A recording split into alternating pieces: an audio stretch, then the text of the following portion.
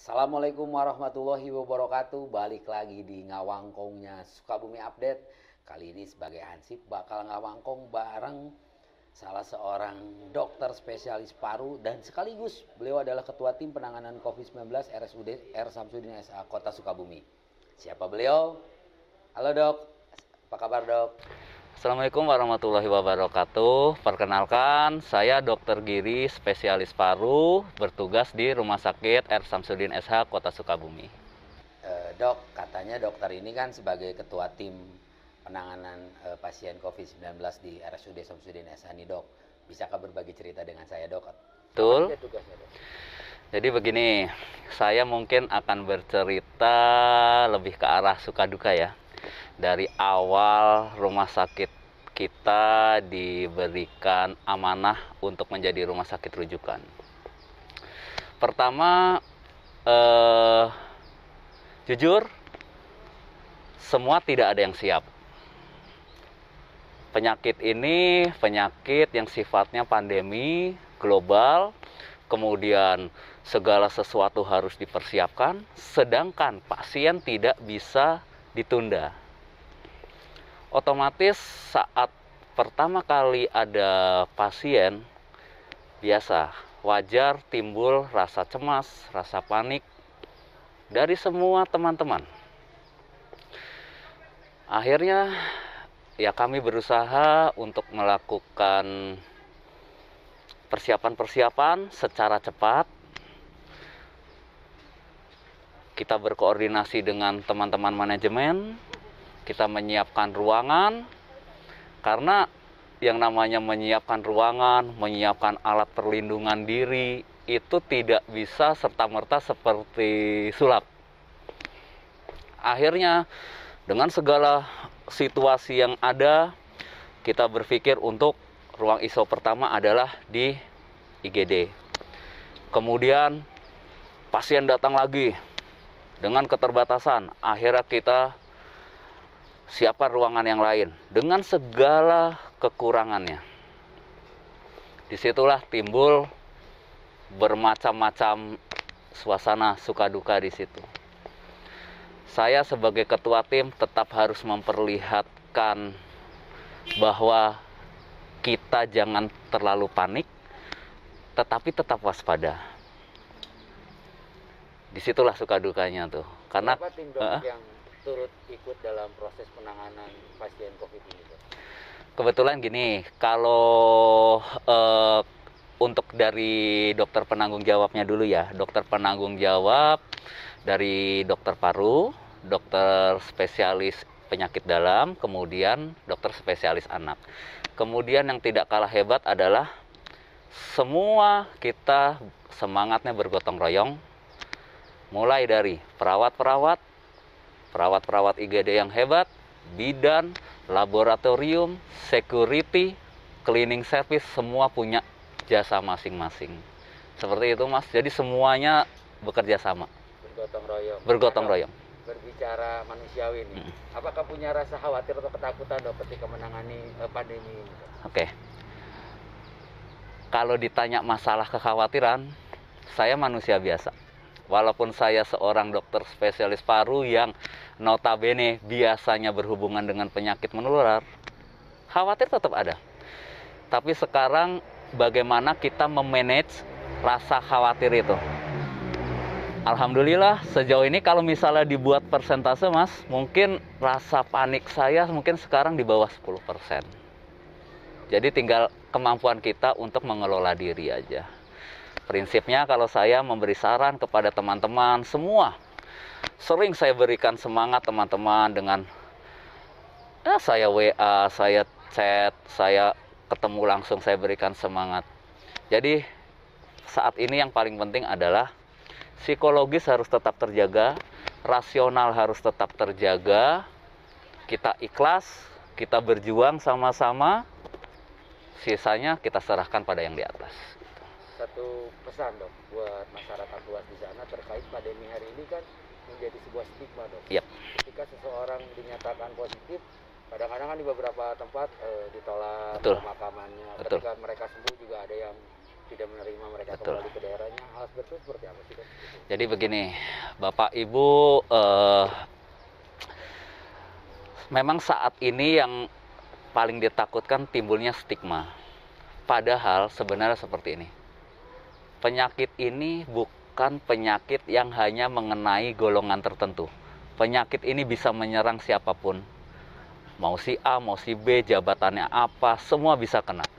Nah, kenapa bisa timbul stigma? Karena saya perhatikan kok ya, kalau saya perhatikan lebih ke arah sekarang ini medsos itu kan banyak informasi yang sifatnya bias ke mana-mana, sumbernya tidak jelas. Di situ timbul kepanikan. Asal muasalnya sih kalau saya lihat semuanya timbul dari rasa panik. Wajar manusiawi. Cuma kalau saya ber, bisa memberikan saran eh, kepada halayak ramai, kepada masyarakat bahwa penyakit ini tidak perlu diberikan stigma. Penyakit ini bisa menyerang siapa pun dan secara teori saya pernah membaca bahwa tingkat kesembuhannya tinggi, bisa di atas 80%. Penyakit ini self-limiting disease, artinya self-limiting disease itu penyakit yang bisa tubuh membatasi sendiri. Jadi tidak perlu ada stigma negatif. Terkait dengan itu, saat ini pedoman dari Kemenkes membagi itu terbagi menjadi tiga grup terhadap seseorang yang terkait COVID-19. Pertama PDP, ODP, dan OTG. Apa itu PDP? PDP pasien dalam pengawasan, ODP orang dalam pemantauan, OTG orang tanpa gejala. Nah, yang saya ingin tekankan bahwa PDP, ODP, ataupun OTG itu belum tentu positif. Saya ulangi sekali lagi bahwa itu belum tentu positif. Jadi kenapa kita harus takut? Waspada iya, tapi takut yang berlebihan juga jangan. E, prinsipnya itu PDP, ODP, OTG itu belum tentu positif. Banyak sekali yang hasilnya negatif. Tapi memang kita harus tetap waspada. Di sini semangatnya di era pandemi ini, semangat kita harus bergotong royong, saya berharap tidak ada penolakan-penolakan lagi, tidak ada penolakan terhadap siapa pun, termasuk terhadap petugas yang sudah berjibaku terhadap pasien-pasien seperti ini. Kalau boleh saya cerita, saya pernah dapat berita bahwa saya harus melakukan rapid test karena saya bertugas langsung menghadapi pasien-pasien yang PDP, ODP, bahkan yang sudah konfirmasi positif. Dapat WA, dok, dokter harus rapid test. Nah, saat itu kalau saya sebenarnya sih menghadapinya alhamdulillah santai. Tapi saya otomatis harus memberitahu keluarga. Ketika saya memberitahu ke keluarga, saya pamit. Saya beritahu kemungkinannya, positif atau negatif. Kalau saat positif, saya harus isolasi mandiri. Dan saat itu ya udah, ya manusiawi semua. Keluarga ya biasa. Ya bersedih, nangis, seperti itu. Dan alhamdulillah sejauh ini hasilnya negatif. Seperti itu. Tips pencegahan kan ini penyakit bisa dicegah nih dok. Siap. E, mudah untuk mencegah e, pandemi ini seperti apa sih dari dokter? Oke. Saya selalu sering, saya saya sebagai ketua sering sekali memberi masukan, tips-tips kepada teman-teman. Sebenarnya kalau saya ya, ini kalau tips dari saya. Pertama, yang paling penting jangan lupa berdoa. Itu aja. Doa kan mau pandemi mau nggak pandemi kita harus berdoa. Kemudian yang kedua, yang paling penting ya, positive thinking batasi asupan dari medsos, dari WA, dari Instagram, dari apa pun yang sifatnya tidak konstruktif membangun. Ikuti anjuran pemerintah, physical distancing, social distancing, di rumah saja, rajin cuci tangan, pakai masker kain, pakai masker bedah untuk petugas Sisanya kita serahkan kepada yang di atas. Jangan lupa minum suplemen. Kenapa kita harus pakai masker? Karena penularannya lewat droplet. Droplet itu apa? Percikan. Ketika seseorang batuk atau bersin dia akan timbul bercikan. Di situ tim adanya virus. Kalau kita sudah pakai masker, insya Allah percikan itu bila batuk tidak akan ke mana-mana. Nah kalau tidak pakai masker, percikan itu karena gaya gravitasi dia akan ke mana-mana. Ketika bapak misalnya e, batuk di depannya ada meja misalnya, tidak pakai masker, dia akan turun ke situ. Di situ ada virus.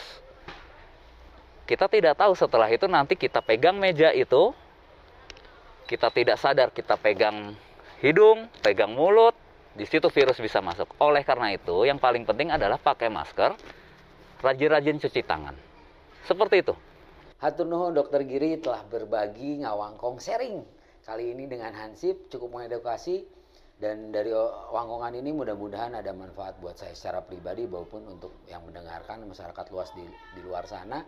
Ternyata pandemi hari ini tuh harus dilawan secara bergotong royong bersama-sama. Tidak hanya tugas pemerintah atau dokter secara pribadi, tapi ini tugas semua orang, tugas semua masyarakat untuk saling bergotong royong untuk melawan COVID-19 hari ini. Tetap waspada dan jangan panik seperti kata dokter tadi. Saya sebagai Hansi pamit, tetap di Ngawangkong Podcast Kopi Update kita bakal balik lagi. Kita bakal ngupas sesuatu hal yang lebih dan lebih dan lebih. Wassalamualaikum warahmatullahi wabarakatuh. Tetap stay at home, stay safe, jaga kesehatan, tongpo sholat. Merdeka.